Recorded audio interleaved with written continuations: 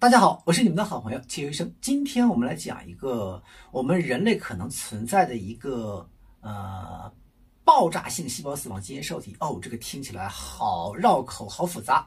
那么齐医生举几个例子啊，比如说我们都会感冒，感冒的本质实际上呢是病毒感染。你会发现一个问题，有些人。啊，病毒感染后可能休息三五天，它就会好了，自然就好了。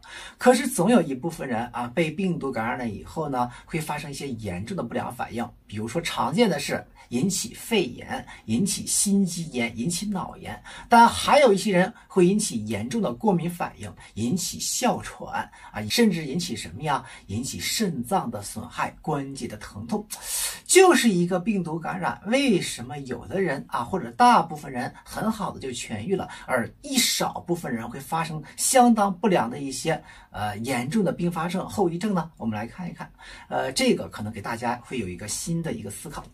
研究人员发现，全球有数百万人携带一种控制与炎症有关的爆炸性细胞死亡的基因变异，这或许可以解释为什么有些人容易患上炎症性疾病，并有可能开发出个性化的治疗方法。细胞死亡是人体清除受损不需要的患病细胞的方式。细胞凋亡呢，是细胞死亡的一种形式，被认为是程序化的，因为它是一个高度受控的过程。相反，由于其不受控制的性质，被认为是非程序化的。还有一种新的细胞死亡形式叫做什么呀？坏死。它同时模仿细胞凋亡和坏死。坏死与其他形式的细胞死亡的区别在于其凶猛程度，啊，太凶猛了。从本质上讲，细胞爆炸性发生一个警报，让体内其他细胞做出反应；而细胞凋亡通常会呢引起免疫沉默。什么意思啊？它是一个程序化的，让它消亡、死亡，让免疫呢沉默啊，就是你不要太啊引起太过于夸张的临床表现或者杀伤力。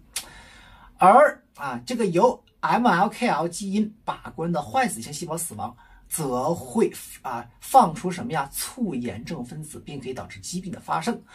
呃，近来呢，由澳大利亚墨尔本沃尔特霍尔研究所考察了控制坏死细胞死亡基因发生改变时，那么坏死细胞死亡后受到了怎样的影响？病毒感染时呢是好事，那么能杀死感染细胞。并啊，什么呀？提示免疫系统清理病毒，启动更加这个更加特异的、更加持久的炎症反应。这个呢，对于抗击病毒大部分来说都是好事情。但当坏死细胞异常的增多或失控时，炎症反应就会引发疾病。它不但会清除病毒，更会引发身体内在的疾病。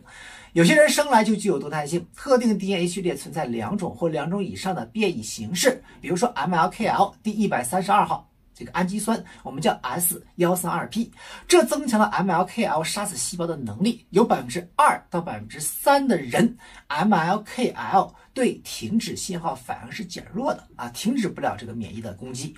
研究人员将小鼠这个版本的 MLKL 变异体引入转基因小鼠体内，结果发现这种变啊这种变异体功能会产生一个增益的效应，导致免疫细胞的缺陷啊，甚至造血功能的障碍。研究人员研究人员迅速观察到炎性单核细胞数量的减少，这种细胞呢会选择性前往炎症部位产生炎性的细胞因子，并导致局部的一个。啊，和全身的一个炎症反应，这些研究结果重要性在于这种基因突变如啊，这种基因突变是如何与生活方式、感染史和更广泛的基因构成等因素相互作用，从而增加炎症性疾病的风险。这就是所谓的基因风险，即多个基因对某种疾病的综合影响。而 MLKL S 幺三二 P。